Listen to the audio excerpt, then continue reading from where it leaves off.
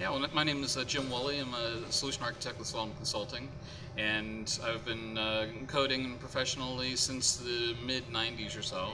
My first uh, degree was actually in music. So Okay. I started out with music education and uh, then went to music theory in the college level.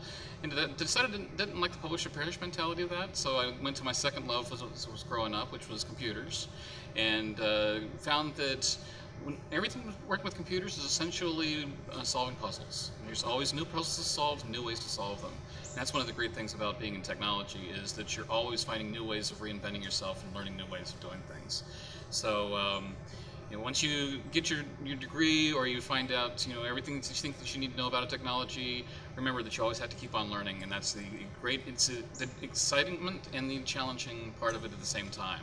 Uh, so you have to be a lifelong learner and really understand what's going on in order to really thrive in this industry. For you, what is like one of the most important qualities you found in the developers you admire? Looking outside the box. So trying to find new and unique ways of trying to solve problems and trying to think beyond just what the customer is asking for to figure out what it is that they really want. And that's when you get uh, really interesting solutions to problems. You know, just doing exactly what the customer wants sometimes doesn't solve really what they need. And trying to understand the underlying issue and, in question and figuring out a good alternative solution for that often is one of the most rewarding things. Is there any like dream project you're still waiting to get involved in, be part of?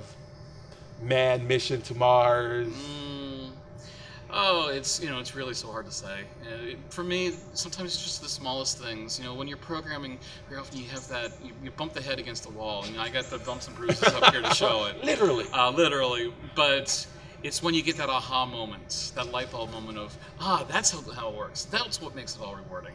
Uh, you know, I can't say any one project that's the thing. That's the one I really, really want to work on, type of thing. But uh, yeah, it's sometimes it's the small things that are what you have to take the real uh, joy in. Excellent. Thank you. You're welcome.